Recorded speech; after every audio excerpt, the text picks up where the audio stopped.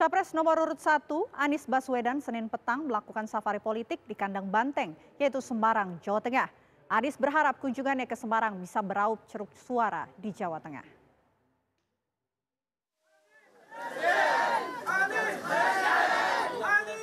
Usai mendarat di Bandara Ahmad Yani Semarang, Jawa Tengah, Senin petang, Anies langsung melanjutkan safari politiknya ke sejumlah lokasi.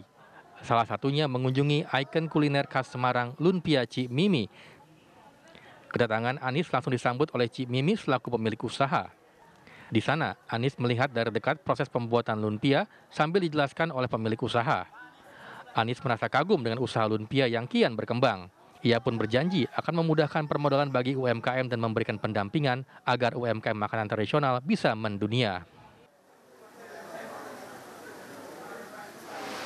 Ini semua dibutuhkan supaya yang kecil itu bisa berkembang, yang mikro bisa tumbuh. Nah, akses pada permodalan ini sering kali kita memberikan kemudahan kepada sektor yang formal, Sementara yang mikro itu rata-rata mayoritas malah informal. Nah, kalau kita berikan kemudahan regulasinya untuk bisa dapat akses modal bagi yang informal, saya yakin mereka bisa tumbuh besar.